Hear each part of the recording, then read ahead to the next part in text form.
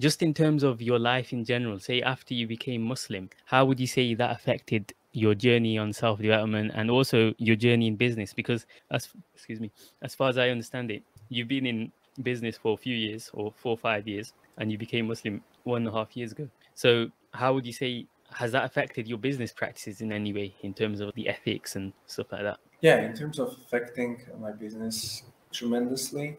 Basically, like I can tell you, maybe just two years, two and a half years ago, I was completely broke. Even though I was like owning my company, like I was not making any money. I was like broke, and just like last week, I bought like a, huge land, which I don't. I'm not going to mention anything, but like I'm in a completely different world now and it's all from one dua one dua i made no. basically i went to istanbul i converted i went to istanbul and i just it's actually my youtube this dua thing uh, where mm. you know just from one dua one simple thing i got 12 clients or something and just start pouring in and i decided okay i'm just gonna let allah guide me like whatever in business because and I had this intention of owning a home or something without riba because I thought like I'm gonna be a Muslim. It's very difficult here. Like how am I gonna do it? But it's just Allah give. If you are, if you want, like whatever is possible, you just have to ask for it. And uh, so it had a like a it changed my life completely. Like I, it's essentially,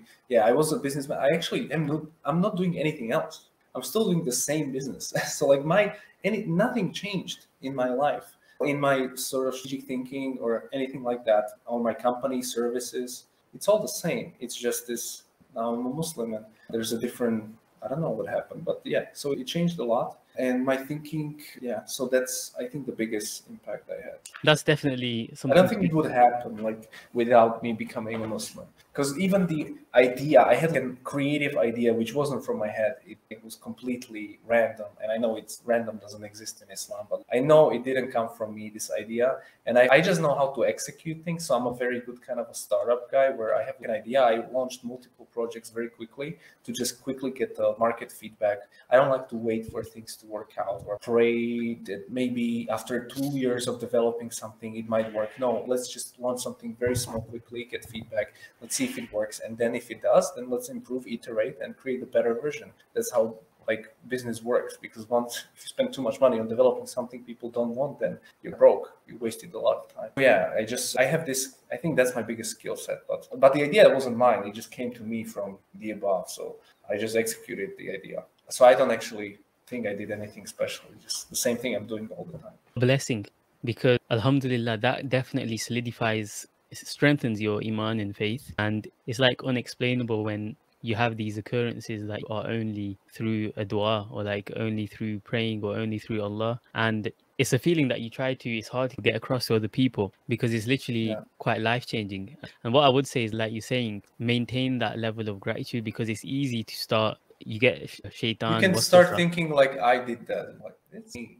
Yeah. And it's not. Yeah. Especially in this, it's a danger that I've spoken about before in terms of being on this self development kind of hype.